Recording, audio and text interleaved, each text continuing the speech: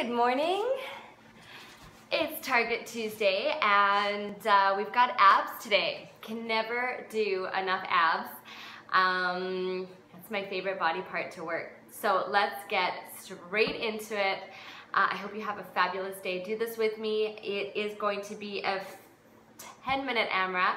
There's only four exercises and uh, four reps for everything except one. There's a little bit uh, different. So uh, check it out. What you're gonna do, starting here, you're gonna bring one leg forward, then opposite arm comes in. Other leg forward, opposite arm, opposite leg.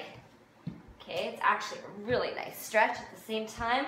So just four, okay, perfect. On your back, what you're gonna do here, head up, do the splits with your legs, and then bring it in.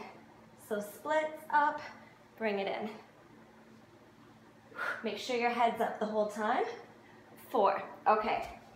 Here's the wonky rep one. You're gonna do four, three, two, one, and then down and up, right arm. Four, three, two, one, up, down and up, left arm. Okay, Perfect. And then last one, on your back. You're going to bring your legs down, up, crunch it up. Down, up, crunch it up. Just four. Woo! Last one. And four.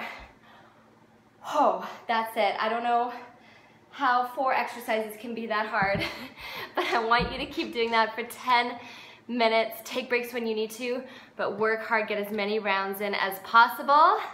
I hope you enjoy it and uh, wishing you a very happy Tuesday.